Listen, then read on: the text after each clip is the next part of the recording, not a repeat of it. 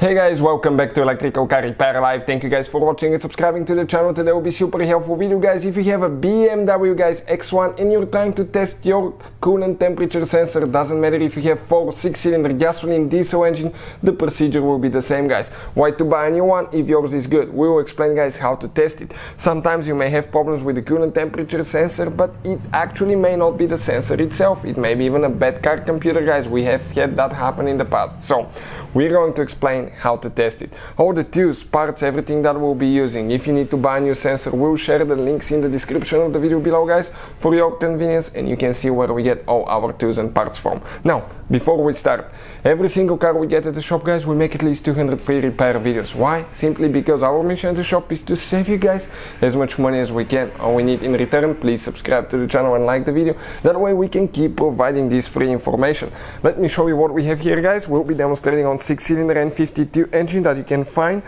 uh, on BMW X1, but actually even uh, four cylinder, six cylinder, diesel, gasoline engines, all of them will be about the same.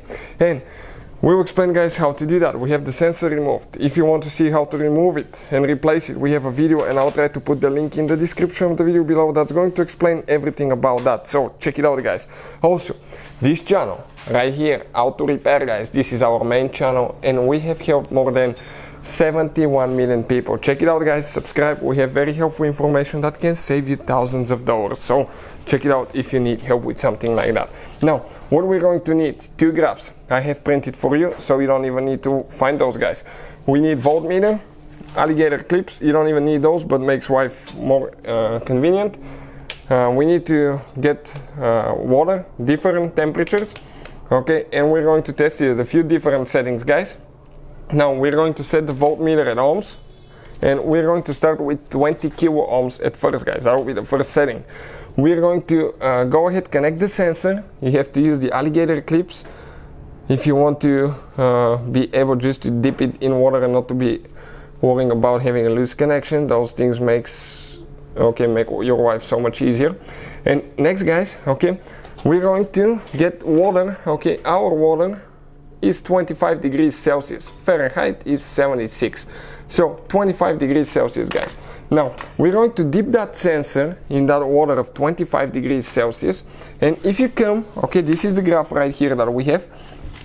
At 25 degrees, this is between 20 and 30, the reading of normal operating coolant temperature sensor is, okay, check it out, about 1700 and 2400, okay, ohms. What is ours? 23.2.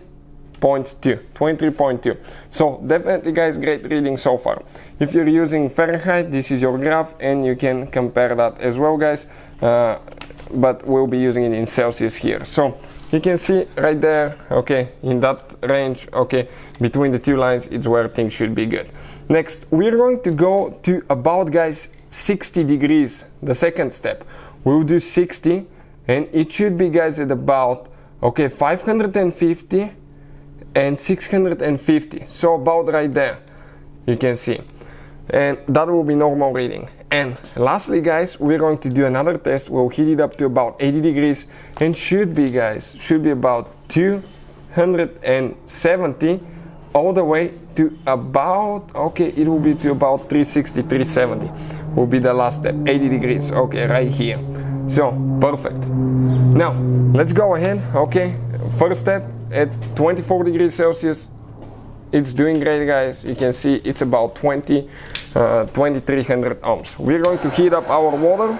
Okay, next we're going to reach 60 degrees Celsius. It's going to take just a couple of seconds and we'll show you guys.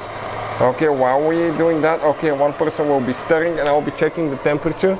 It needs to be accurate, remember that. So you can see how fast our water started warming already.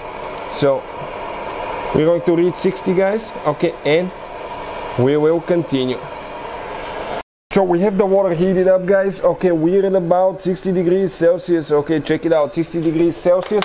And right now guys okay we're at 530 reading. So if you come right here okay we should be between 520 and about 620 maybe right there so we're at 5.30 guys, right on the spot, definitely guys. Okay, great working, okay, sensor so far. no problems at all. What we're going to do, we're going to heat it up even more to about 80 degrees now. Okay, and we're going to see, and I want to show you something. While we're heating it up, okay, check it out now. Once we start heating it up, your ohms should drop guys more. And you will notice that happening. Okay, right on the spot, right there. Check it out how it drops. So we're going to reach 80, which shouldn't take very long by the way. Okay, let's stir things up a little bit. We're at about almost 70. And you can see our reading is about 36 at 70. Okay, right there, about 37. So that's great. 76, 75. 77, we're almost getting there guys. Just the water needs to be constantly stirred up. Okay, I think, I think we're ready. So, let's check it out now. Okay, let me stir it really good. The bottom is probably still hot, so we might be a little bit warm. 82 degrees. No, well, I went about 82. 82. So if you look 82, we should have about 200 guys. Okay, about 220, a little bit over 800, and 320 guys. And we're at 23. So our sensor definitely guys working good. Now the smaller, uh, the, the, higher the temperature gets, the smaller the gap gets between those. And usually you will be closer to the bottom line in most cases on your BMW X4. And once it starts cooling, you're going to see that your reading will start, guys, actually increasing. The ohms will start increasing. And if you need to see the one in, uh, actually in Fahrenheit, it's right here. So you can use it for your reference as well. So hopefully guys, the video will be helpful. Thank you for watching. Please subscribe to the channel for more help and see you guys next time.